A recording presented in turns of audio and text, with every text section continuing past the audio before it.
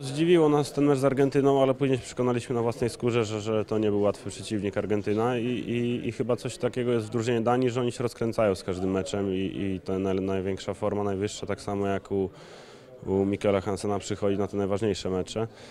Miejmy nadzieję, że jeszcze jutro nie odpali i, i, i będziemy walczyć. A czy zdziwiło? No, tak jak mówię, no, są to jednak wyrównane drużyny, jednak Argentyna pokazuje, że, że nie jest jakimś tam outsiderem i, i, i też walczy mecz z Dania, Rosja w grupie, także no, są to ciężkie mecze i, i i jakoś może to nas nie zdziwiło, ale, ale na pewno daje nam to jakieś szanse do powalczenia z nimi.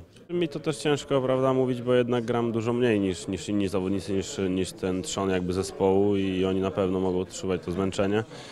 A może takie psychiczne troszkę zmęczenie, bo jednak jesteśmy na kadrze od 15 grudnia, w sumie non-stop z jakimiś tam przerwami na święta. Także, także może bardziej takie zmęczenie, a, a turniej chyba dopiero się rozkręca.